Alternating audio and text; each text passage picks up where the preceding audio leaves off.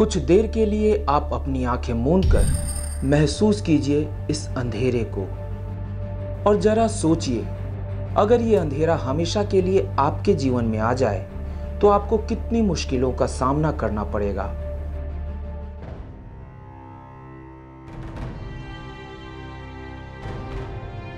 महज इस कल्पना मात्र से ही सारे सपने बिखरे हुए नज़र आने लगते हैं।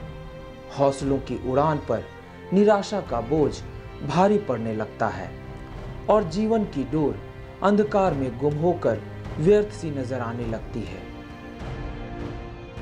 जरा सोचिए, अपने जीवन को इस तरह देखने के कल्पना मात्र से ही मन कितना विचलित हो जाता है। और अब दिन के उजाले में हाथों से टटोलते और छड़ी के सहारे चलते हुए स्कूल जाते इन दृष्टिहीन बच्चों के चेहरे की मुस्कान को देखिए और थोड़ा झांकने की कोशिश कीजिए इनके अंदर के हौसले को, जो दुनिया के हर रंग को काले रंगों से ही देखकर मुस्कुराना भी जानते हैं और जीवन को सरल बनाना भी। क्योंकि इन दृष्टिहीन बच्चों को इतना सक्षम बनाया है, माता श्री मंगला जी और श्री भोले जी महाराज के आशीर्वाद से सक्षम फाउंडेशन ने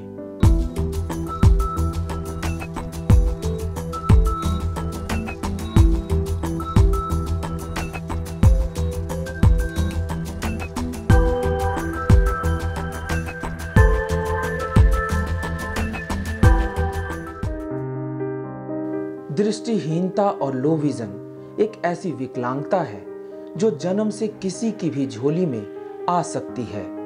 ऐसे में ये बच्चे सिर्फ़ आवाज़ और स्पर्श की भाषा समझते हैं। बच्चों में इस परेशानी की स्थिति का बोझ बच्चों से ज़्यादा इनके माता पिता को ताउम्र ढोना पड़ता है। माता श्री मंगला जी और श्री भोले जी महाराज बच्चों के साथ साथ माता पिता के इस दर्द को भली भांति समझते हैं।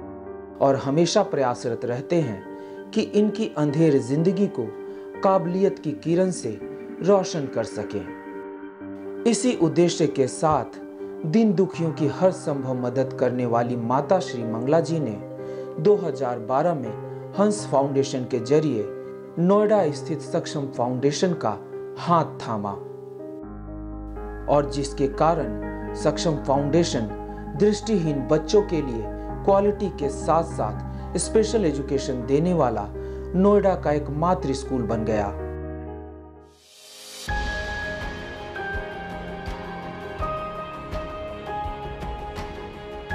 सक्षम, जिसका अर्थ है सकारात्मक क्षमता।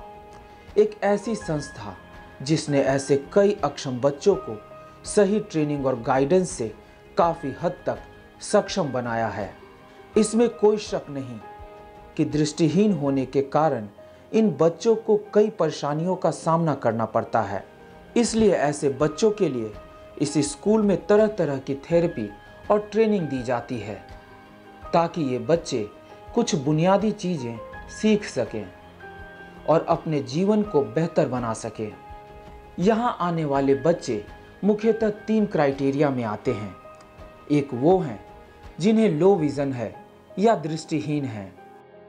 दूसरे वो जो देखने के साथ साथ सुन भी नहीं सकते। ऐसे बच्चे केवल स्पर्श की भाषा ही समझते हैं। तीसरे कुछ ऐसे बच्चे हैं जो दृष्टिहीन होने के साथ साथ शारीरिक रूप से भी विकलांग हैं।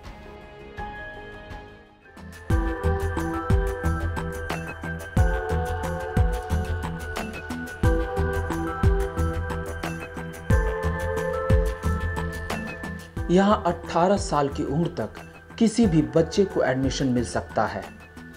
दाखिले के लिए आने वाले बच्चों का सबसे पहले यहाँ असेसमेंट किया जाता है, क्योंकि दृष्टिहीन होने के बावजूद हर बच्चे की अपनी काबिलियत होती है। बच्चे के आईक्यू लेवल और शारीरिक क्षमता या स्थिति के अनुसार उनके लिए सिलेबस बनाया जाता है और नियमित रूप से ट्रेनिंग भी दी जाती है। हर स्कूल की तरह सुबह होते ही बच्चे अपने माता पिता के साथ या फिर स्कूल बस में यहाँ पहुँचते हैं। स्कूल की शुरुआत यहाँ प्रार्थना से होती है।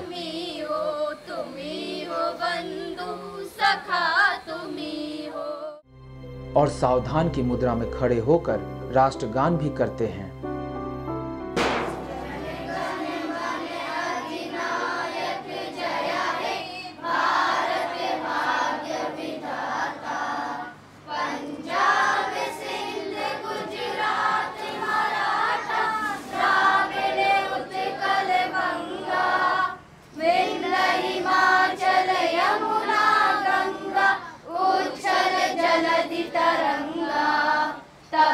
तब शुभ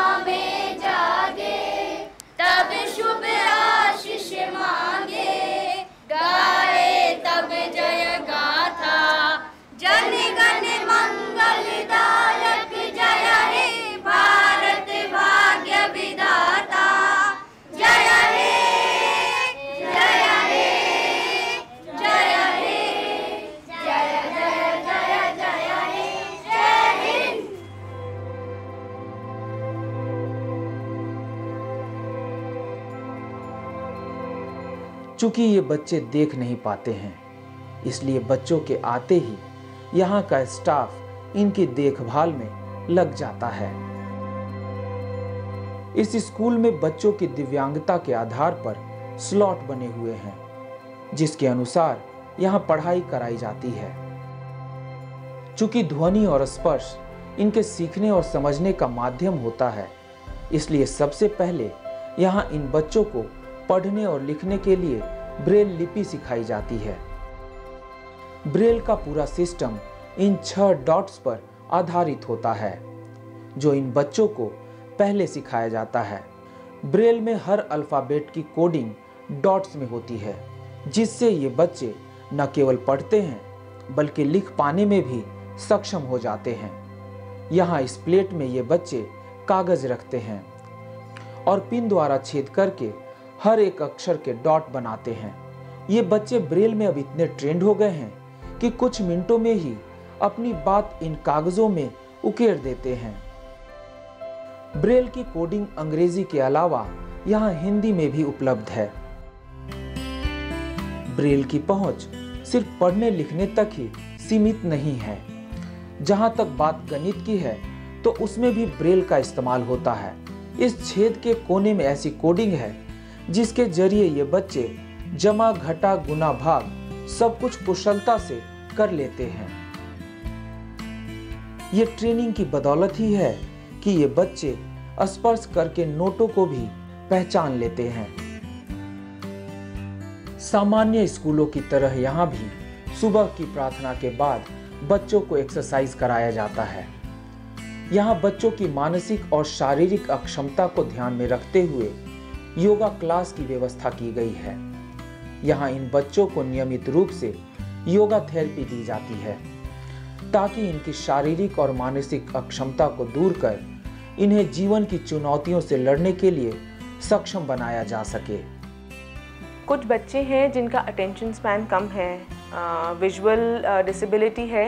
इट्स नॉट अ चैलेंज बस बच्चों का अटेंशन स्पैन कम है या स्टेबिलिटी नहीं है। सो so, मैं, मेरी कोशिश यही है कि बच्चों का एक अटेंशन स्पैन बढ़ाने के लिए हम ब्रीदिंग प्रैक्टिसेस कर रहे हैं और कुछ बच्चे हैं जिनको बॉडी कॉन्फिडेंस इश्यूज़ होते हैं। वो नॉर्मली किसी भी बच्चे को हो सकते हैं। तो योग उस बॉडी कॉन्फिडेंस को बिल्ड करने में हेल्प करता है। पढ़ाई के अलावा इन बच्चों को एडीएल एक्टिविटी की ट्रेनिंग भी मिलती है, जो कि बहुत ही ज़रूरी है। एडीएल के अंतर्गत इन बच्चों को रोज़मर्रा के काम आने वाली बुनियादी चीज़ें सिखाई जाती है। ऐसे बच्चों को स्वयं खाना खाने, कपड़े पहनने या कपड़े प्रेस करने में काफ़ी मुश्किलों का सामना करना पड़ता है। लेकिन एडीएल की ट्रेनिंग के बाद ये बच्चे खुद अपना लंच कर पाते हैं। खाने के अलावा इन बच्चों को घर के काम जैसे कपड़े पर प्रेस करना भी सिखाया जाता है। और ये सभी काम यहाँ मौजूद अटेंडेंट और स्पेशल एजुकेटर की निगरानी में होते हैं। जो कि पूरा दिन इन बच्चों की देखभाल में रहते हैं।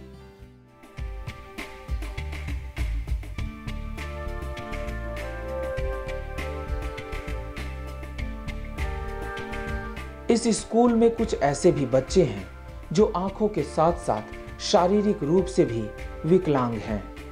ऐसे बच्चों की यहाँ नियमित रूप से शारीरिक जाँच होती है खास तौर से इनके मसल्स को लूज करने के लिए फिजियोथेरेपी भी दी जाती है ताकि इन बच्चों की ग्रेस्पिंग पावर बैलेंसिंग वज़न और इनके वॉकिंग पैटर्न ठीक किए जा सके। मेनली यहाँ जो भी बच्चे होते हैं, जिसका फिजिकली नीट होता है या फिर फाइन मोटर इश्यूज़ होते हैं, है ना? उनको हम यहाँ पे फिजियोथेरेपी कराते हैं। फाइन मोटर्स इशू में जैसे कि बच्चे होते हैं, खा नहीं सकते, खाना खा नहीं सकते, है ना? या फिर पेन नहीं पकड़ सकते ग्लास नहीं पकड़ सकते, उन सबको हम एजुकेशन देते हैं। इम्प्रूवमेंट रेशियोज डिपेंड करता है बच्चे घर पे जाके कितना करते हैं उसमें भी, ठीक है? अगर बच्चे यहाँ आके करते हैं, मेरे साथ में अगर वो वीक में मेरे पास करते हैं थ्री डेज़ ठीक है? और उनका प्रोग्रेशन डिपेंड्स करता है कि किस टाइप का है कंडीशन राइट अगर लेग्स वाला है तो लेग्स में around one to two years भी लग जाते हैं ठीक करने में, ठीक है? और अगर वो बच्चा ऑल्टरनेटिंग डेज़ लगते हैं मतलब टू ईयर्स है तो उसका फोर ईयर्स राइट right? उसी में डिपेंड करते हैं। एक होता है लॉन्ग टर्म और एक होता है शॉर्ट टर्म अगर फाइन मोटर्स है तो फाइन मोटर्स में और इशू आते हैं। ज़्यादा टाइम लगता है, क्योंकि वो न्यूरोलॉजिकल डिसऑर्डर्स भी हैं। ठीक है? तो उसमें नर्व के भी प्रॉब्लम हो सकते हैं तो इसीलिए वो टाइम लेंगे। लेकिन अगर मस्कुलर पेन है, जैसे कि मसल टाइट है, या फिर मसल जो है वो खोल नहीं पा रहे, उसका रेंज जो है पूरा नहीं है तो उसमें कम टाइम लगता है। जीवन के हर क्षेत्र में कंप्यूटर की बढ़ती ज़रूरत को ध्यान में रखते हुए इन बच्चों के लिए भी यहाँ कंप्यूटर एजुकेशन की व्यवस्था की गई है। स्पेशल सॉफ्टवेयर की मदद से ये बच्चे अपनी ज़रूरत का हर काम सरलता से इन कंप्यूटर पर कर लेते हैं। कान में लगे इन हेडफोन की मदद से ऑडियो सुनकर किसी भी सामान्य व्यक्ति की तरह ये कोई भी काम कंप्यूटर पर कर सकते हैं।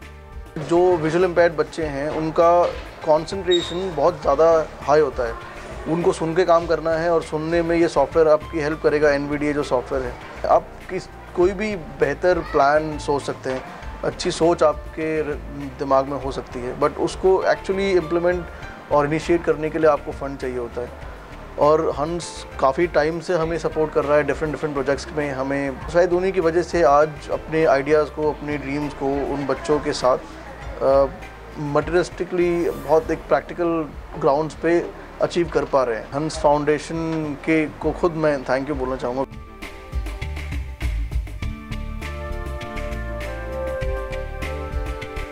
स्पेशल ट्रेनिंग में इनकी एकाग्रता और कुशलता जब सही पैमाने पर उतरने लगती है तो इन बच्चों से कुछ वोकेशनल एक्टिविटी भी कराई जाती है वोकेशनल एक्टिविटी में ये बच्चे कई तरह के आभूषण बनाते हैं ये बच्चे सुई की मदद से इन छोटे छोटे मोतियों को माला में पिरोते हैं। इन बच्चों को ऐसी ट्रेनिंग मिली है कि ये बच्चे चुटकी भर में ये प्रोडक्ट तैयार कर देते हैं। ये प्रोडक्ट इतने खूबसूरत होते हैं कि किसी का भी मन मोह लें। इन प्रोडक्ट्स की मांग बाज़ार में भी अच्छी खासी होती है। ऐसी एक्टिविटीज़ ही इन बच्चों को अपना जीवन चलाने में सक्षम बनाते हैं।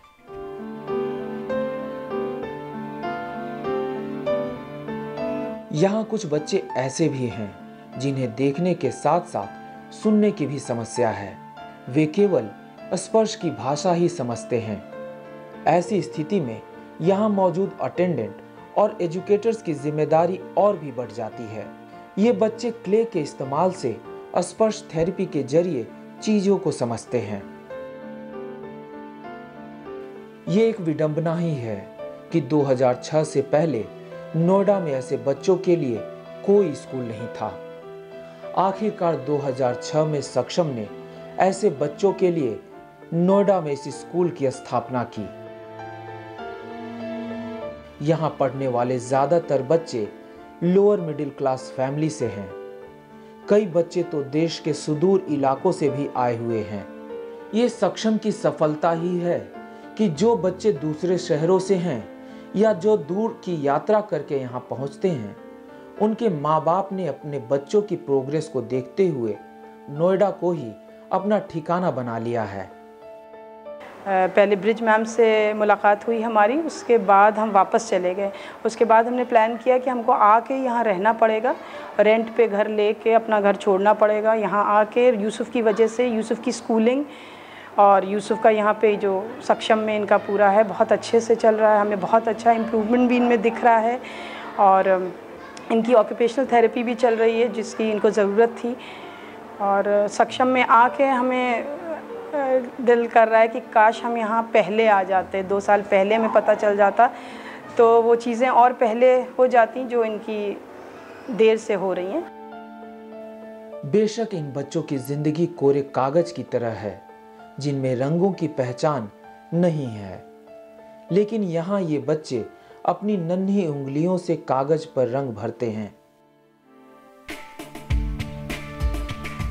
आमतौर पर छोटे बच्चे स्कूल न जाने का बहाना बनाते हैं।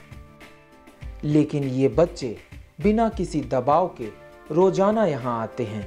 इस स्कूल में हो रही पढ़ाई का मूल्यांकन ऐसे लगाया जा सकता है कि इस स्कूल से निकलने के बाद कई बच्चे मुख्य धारा के कई बड़े नामचीन स्कूलों में अब पढ़ लिख कर आगे बढ़ रहे हैं यहाँ ट्रेनिंग केवल बच्चों की ही नहीं होती, बल्कि माँ बाप को भी यहाँ ट्रेंड किया जाता है बच्चों के साथ साथ उनके माँ बाप भी यहाँ ब्रेल लिपि सीखते हैं, ताकि ये अपने बच्चों को घर में पढ़ने लिखने में आसानी से मदद कर पाएँ। सुबह हम सात बजे आ जाते हैं, वैन से आते हैं। मैं इसके साथ यहीं पे रहती हूँ अभी फ़िलहाल। मैडम से ब्रेल सीखती हूँ मैं ना। तो हम जब छुट्टी होती है तो इसके साथ ही जाती हूँ। वो अपने बेटे के लिए सीख रही हूँ ना, इसको पढ़ाने के लिए। जो इसको मैडम पढ़ाएँगी, वो हम तो पढ़ा सकते हैं ना। हमसे तो नहीं आती वो। तब हमसे नहीं आएँगे, हम अपने बच्चों को कैसे सिखाएँगे? पाँच साल की थी, अब सोलह साल की हो गई। तब से यही नृत्य आ रही है। एक दिन भी छुट्टी नहीं करती है। घर में रहना इसको बिल्कुल पसंद नहीं है। हर किसी ने बोला भी, इसको हॉस्टल में डाल दो। वो कहती, मैं हॉस्टल में नहीं जाऊँगी, मैं उसी स्कूल में जाऊँगी। हॉस्टल के लिए तैयार नहीं होती। और हमें भी हॉस्टल में अच्छा नहीं लगता, स्कूल, इस स्कूल से अला हॉस्टल में हमको अच्छा नहीं लगता। हमें सक्षम बहुत अच्छा लगता है। ये मेरा ये कोई पर्सनल एक्सपीरियंस नहीं बता रहा हूँ, वो तो है ही है। कोई it's not only anecdote but मेरी लोगों से बात हुई है बहुत स्टेट्स में। लखनऊ है इलाहाबाद है, पंजाब हरियाणा से मैं खुद हूँ, फरीदाबाद से मैं आता हूँ। कोई भी ऑर्गेनाइजेशन एक पर्टिकुलर एस्पेक्ट ऑफ़ डिसेबिलिटी के बारे में बात करती है। स्पेक्ट्रम ऑफ़ डिसेबिलिटीज़ के बारे में मैं जहाँ तक जानता हूँ या मैं जहाँ तक रिसर्च करके पता लगाया है, वो यही है कि सक्षम इज़ द ओनली ऑर्गेनाइजेशन जो कि स्पेक्ट्रम इज़ सो ब्रॉड कि मैं नहीं जानता कि कोई और ऐसा काम कर रहा है। एडमिशन स्कूल बहुत अच्छा है और सबसे पहले बच्चों की केयर बहुत अच्छी है। केयर ही सबसे ज़रूरी है, केयर बहुत अच्छी है, फिर पढ़ाई भी अच्छी है, स्टाफ सभी बहुत कोऑपरेटिव हैं। निसंदेह आज ये कह सकते हैं कि इन बच्चों के साथ साथ इनके माता पिता को भी मुस्कुराने का अवसर सक्षम ने दिया है। लेकिन पर्दे के पीछे रहकर सही मायने में सक्षम को सक्षम बनाया है। परम पूजनीय माता श्री मंगला जी और श्री भोले जी महाराज ने, जिन्होंने हंस फाउंडेशन के इस हंस को हर जरूरतमंद तक पहुंचाकर इनके जीवन में उजाला लाने के लिए प्रेरित किया है। मुझे लगता है शायद कि आज हंस फाउंडेशन की देन है कि जो ये गाड़ी है, जो सक्षम की जो रीढ़ की हड्डी बनी हुई है, जिसकी वजह से आज हम लोग खड़े हैं। अगर ये रीढ़ की हड्डी हिलेगी तो सक्षम के हर कोई लड़खड़ाएगा। मैं श्री भोले जी महाराज और माता श्री मंगला जी का और साथ में मिस्टर भार्गव का तहे दिल से पूरे सक्षम की टीम की तरफ़ से मैं उनको ये धन्यवाद देना चाहती हूँ कि आज जो ये सक्षम खड़ा है, इसका पूरा श्रेय जाता है हंस फाउंडेशन को। अगर आज हंस फाउंडेशन हमारे साथ नहीं होता तो शायद आज हम सक्षम को इस मुकाम पे देख नहीं पाते।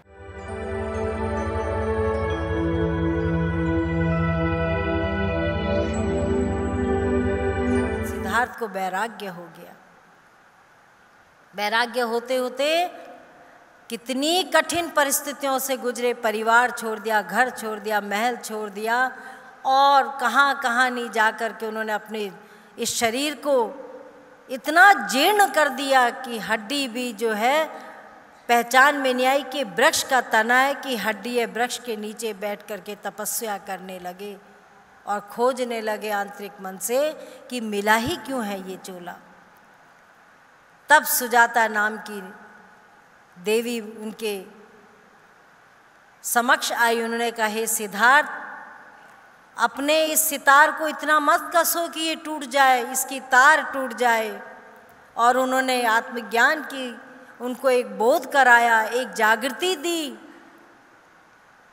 और जिससे सिद्धार्थ के मन को फिर एक बल मिला, सत्संग के द्वारा उनका जीवन बदलने का एक रास्ता मिला।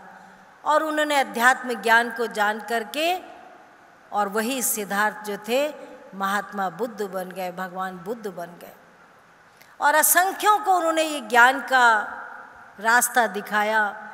बड़े बड़े हिंसा वालों को उन्होंने अहिंसा का पाठ पढ़ाया। तो हमारे इस जीवन में हमें बहुत सी शिक्षाएँ मिलती कि जीव, जागो रे नर जागना, अब जागन की बारी और फिर क्या जागे नान का जब सोवे पाँव पसारे।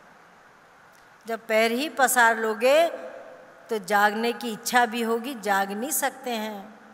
हम लोग इक्कीस हज़ार छः सौ बार सांस लेते हैं, इक्कीस हज़ार छः सौ बार दिन भर में, वो भी एक अंदर यज्ञ के समान है।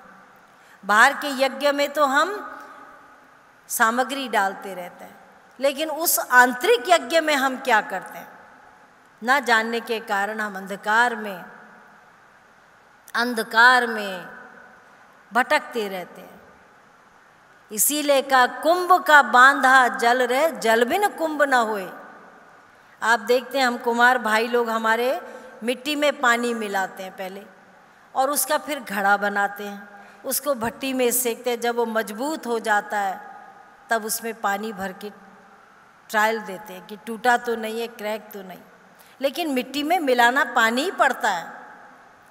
तो कुंभ का बांधा जल रहे, जल भी न कुंभ ना हो। घड़े को बांधने के लिए जल की आवश्यकता है जल के बिना कुंभ नहीं होता। और ज्ञान का बांधा मन रहे, गुरु भी ने ज्ञान न हो। इतना बड़ा हमारा जीवन है, हमने संसार के लिए सब कुछ कर दिया। हमारी श्री माता जी कहते थे, देखो उन्होंने अपने जीवन के 16 साल की अवस्था में उन्होंने अध्यात्म के ज्ञान को श्री महाराज जी के संपर्क में जब उनका विवाह, उसके बाद उनको पुराने समय में ऐसा ही होता था। और श्री महाराज जी तो चले जाते थे महीनों, सालों, कराची, कभी जयपुर, कभी राजस्थान का कोई कह उस समय ना फ़ोन होता था, ना कोई साधन होता था। और कठिनाई से दो मुट्ठी चने जेब में डाले और अध्यात्म के प्रचार के लिए चले गए।